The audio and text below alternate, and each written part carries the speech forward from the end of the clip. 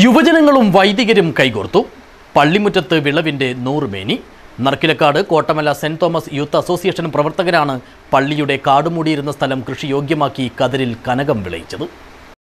West Eleri Narkilakkad Kottamala saint Mary Sunoro Yakobaya Suriyani പള്ളിയുടെ പോഷക സംഘടനയായ സെന്റ് തോമസ് യൂത്ത് അസോസിയേഷനിലെ ഇരുപതോളം വരുന്ന യുവാക്കൾ ചേർന്നാണ് അര ഏക്കർ ഭൂമിയിൽ നെൽകൃഷി നടത്തിയത്.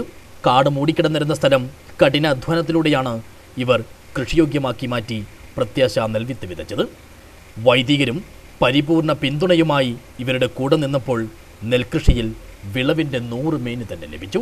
കോവിഡ് മാനദണ്ഡങ്ങൾക്ക് വിധേയമായി നടന്ന ചടങ്ങിൽ വെസ്റ്റലേരി പഞ്ചായത്ത് പ്രസിഡന്റ് പ്രസീത രാജൻ കൊയ്ത്തുത്സവം ഉദ്ഘാടനം ചെയ്തു.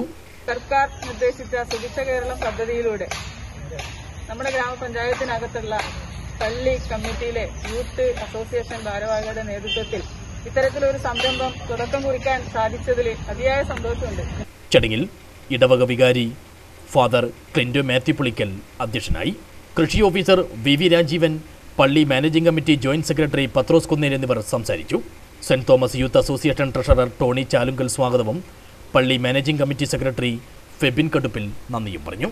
News bureau Vellarikundu.